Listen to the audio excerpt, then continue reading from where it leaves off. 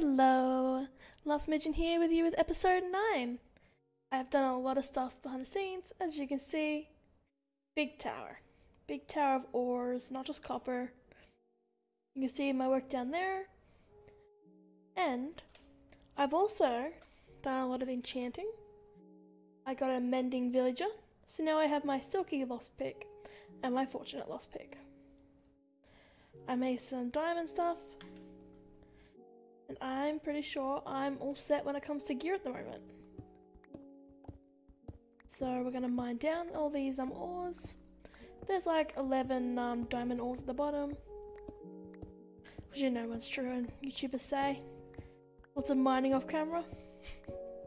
I was convinced just to make a creative world and just to um sort of copy the one of these buildings or something and just show up with like mountains of diamonds behind me being like, yeah, I did a bit of um mining.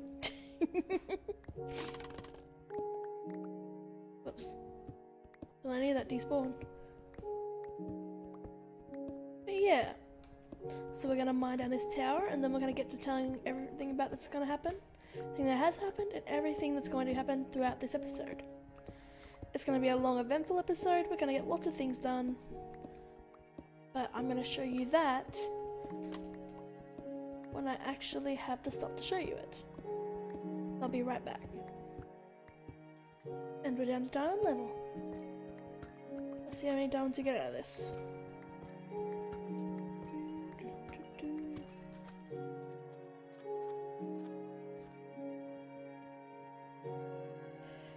Okay, and we've got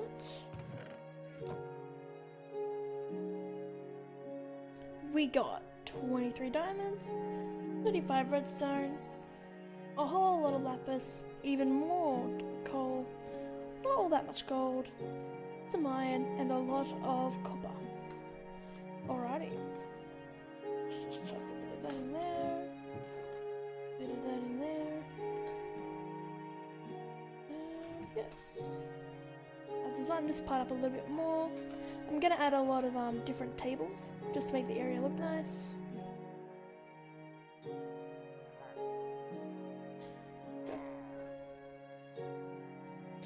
Made this look like it was cutting down a tree. Even though it's a stone cutter, but still. I made my little garden. Which I am ultra fond of. It's a tiny, tiny little garden. But I have made a cute little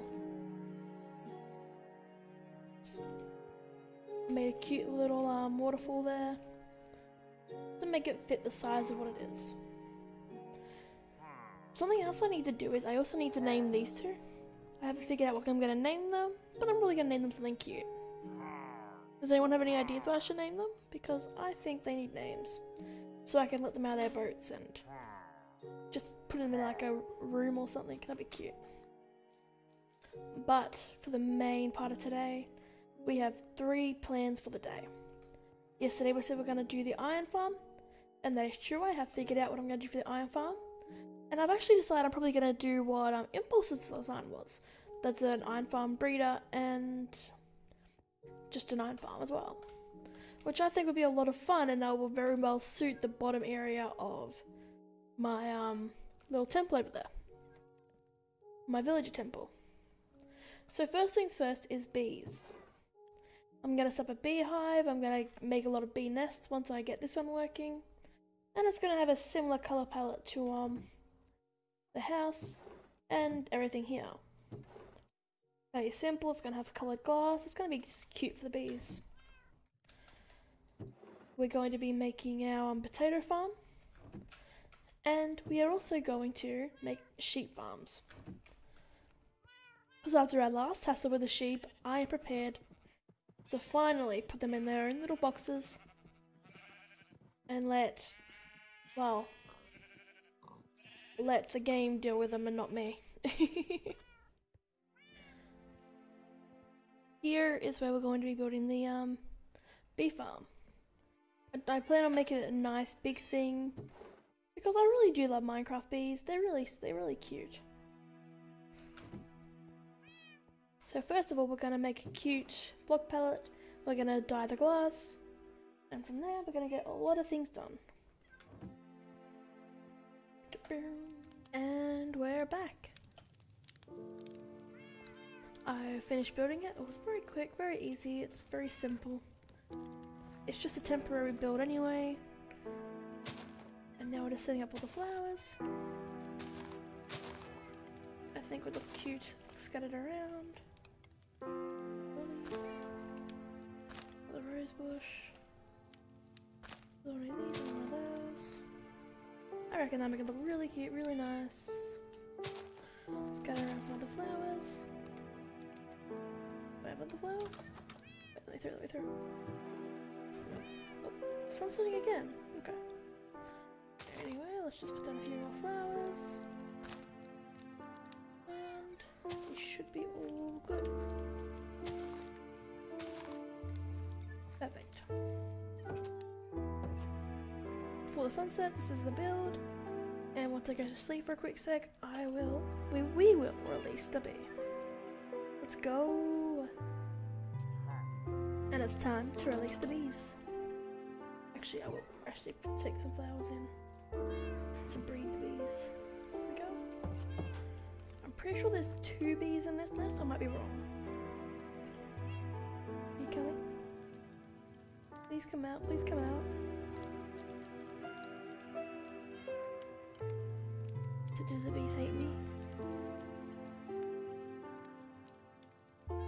Hear them inside. Hello? I don't want to break it. there it goes. There's the bees. I can hear them. Oh, exciting. We got some bees. One door at a time, one door at a time. I should really coordinate these doors a bit better. But anyway. Stuck in a flower. There you go. you can't touch things inside of a flower. Come on, give me stuff. I got one bee, one bee, one bee. Oh, there's gonna be a second one. Come on, second one, second one. Please come to me. I think this design is really cute for a bee house. Beehive, I should say, not bee house. I like it.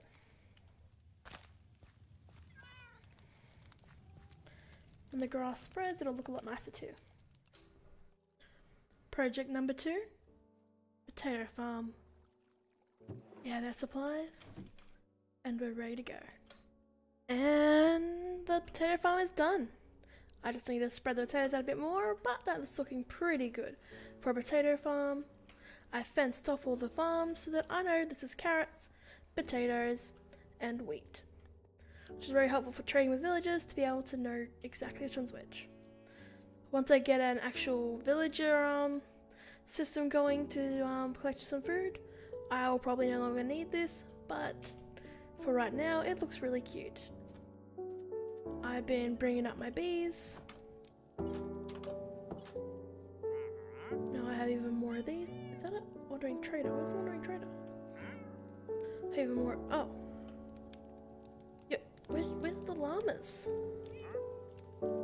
Even you sound confused. Okay. Yeah. Uh, so I just need two more there. I've been breeding up my bees, and hopefully that should go pretty well. Where, where, where are your... Like, yeah, you've got some alright trades, but where are your llamas? They up there? Tails the missing llamas.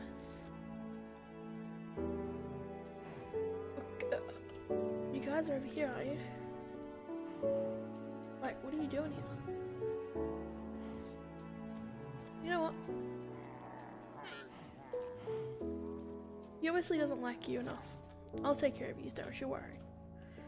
He obviously doesn't love you enough. I don't think I need blue eyes yet. Um, yeah, I don't need any of this right now, actually, so go away.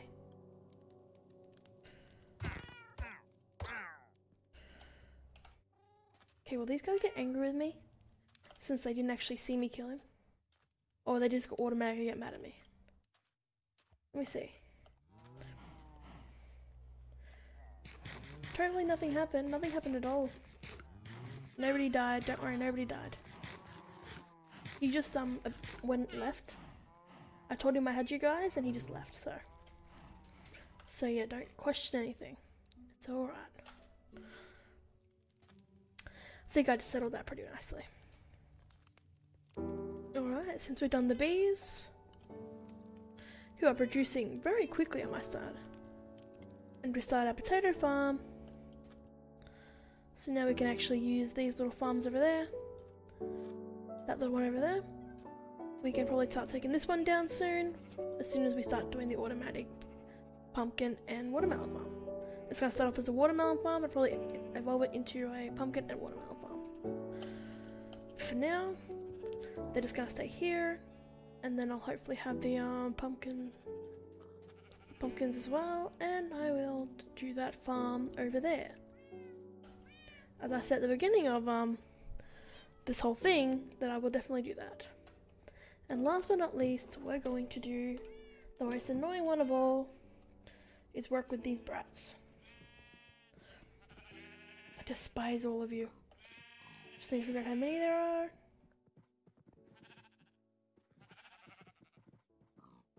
Wait, I know exactly how to do this actually. Shame.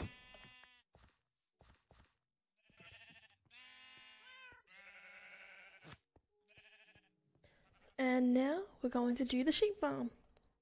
This will be a lot of fun, and I'm going to right here, so it's out of the way a bit, and it's easier to tear down, and I can just take it over the hill to get to the sheep over there. Think that's a pretty good idea for them. And that should work out pretty well. Let's begin. And we're back with the sheep.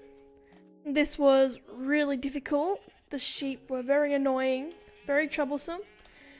I had to accidentally kill four sheep, so I had to have two of the sheep breed. These two were the nicest ones to put away.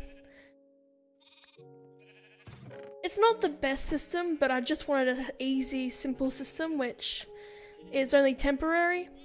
So it doesn't work the best, but I just wanted to fit um, the general aesthetic of the house and everything and to suit the desert vibe as well. I plan on doing more with the roof, but I need. I probably am going to use different blocks though, because the same aesthetic is great, but it's good to mix it up once in a while. I think, and I'm going to try a different kind of.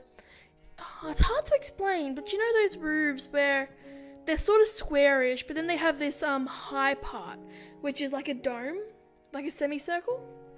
I want to try to experiment with one of those roofs. I want to see if I can manage to do that. That look that would be pretty fun to make, I think. But yeah, this is the basic um, sheep farm. It was very difficult to make. Um, the, the, place itself was easy. I just had to figure out what the block palette. But the sheep, oh, they they were hard. They were annoying. Moving sheep is not easy. But yeah, I wanted today to be about um, just three things that really need to get done. So, the bees, which I've been producing nicely. We have the sheep, which I've been needing to do for a while. And we have the potato farm, which I've been super hyped to do. My bees are doing wonderfully. Constantly giving us more and more um, um honeycomb, which is great. I'm really proud of that. Plus, it's actually a very cute build for some bees. It fits the aesthetic of bees and I love it. So attached to the farms, we have all three farms. I need to finish filling out the potato farm. And of course, the sheep farm, which I do think it looks adorable over there. We just need, I well, I, well, yeah, we, we need to um work on the roof as I see, I was going for the um, pale paleness of that, and I was adding it here. I need to gather a bit more blocks for it, because as you can see, I'm missing some um, some gates. I figured it wasn't that big of a deal because it's just a temporary building, so I don't need to um, make it perfect. But I am gonna try to finish it um, off camera. As you can see, the farm, despite producing um, stuff, it's not the best. I just thought I would do something cute for them instead. It's more so for the looks for this one than it is for the actual production. And for when we go netherite mining, which is probably going to be next episode, I believe. Because I actually am beginning to really want netherite. And I'm also going to be working on the iron farm tomorrow. So I'll probably do some digging for the iron farm off camera. And then we're going to try to set it up. I'm going to do a bit of research first. I'm going to make sure that it actually is going to work. because I want to, I want to actually produce a lot of iron. Because I get plenty of iron from these guys already. Like, I get lots of iron. But I think a nice constant supply would be much better. So yeah, I do think this will be the end of this episode 9. It's been a lot of fun. I've gotten a lot done. And it's kind of been a lot of joy to get things done. Right now that just looks very awkward without the actual roof on it yet. And I plan on cutting down this tree, even though it looks kind of cute there. I plan on moving it. I like the attempt at a little garden there. And I got a bunch of oppa, copper oxidizing. And I still have plenty of copper left, so I really do need to start using more copper. I use my iron for the um, shears and hoppers which was expensive, but not as expensive as I originally thought. I somehow thought it would be much more expensive making this setup than it was.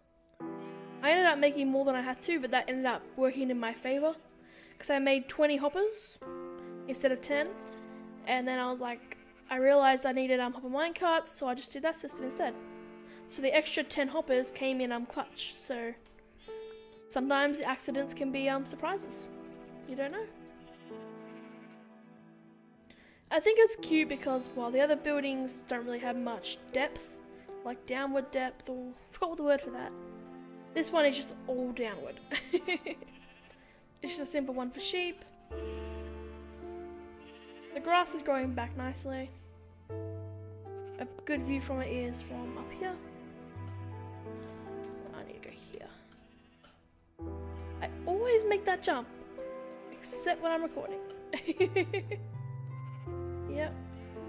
I'm just waiting for the grass to grow back.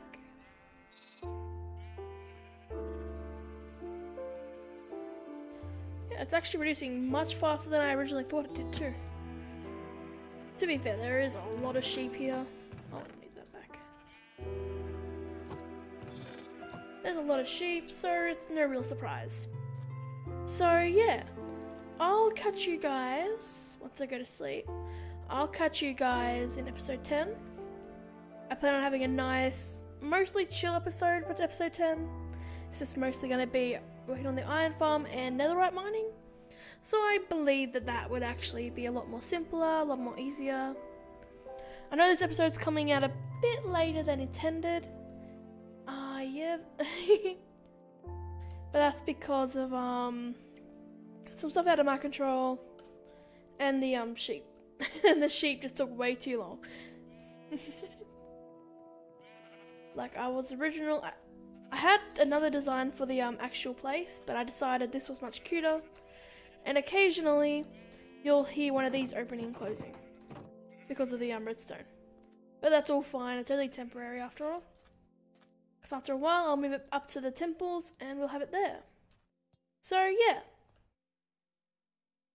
So as always, have a good morning, noon, night, evening.